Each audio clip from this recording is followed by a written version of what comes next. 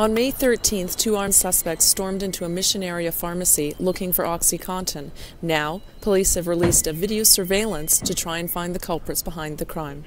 We're starting to see more of, and we're concerned about that. And we want to get on top of the OxyContin uh, robberies um, before they become uh, any more prevalent than they already are.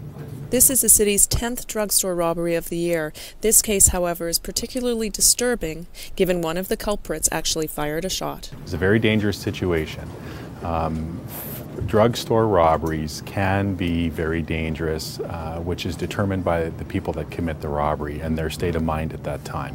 That's what causes us the most concern.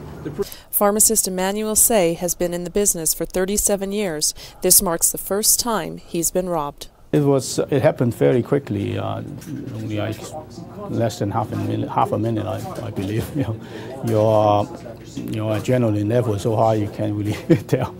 Uh, it was uh, quite a scary moment. Now, if you have any information to help in this case, please call anonymously to Crime Stoppers at 1 800 222 TIPS. Reporting for the Calgary Sun, this is Nadia Moharib.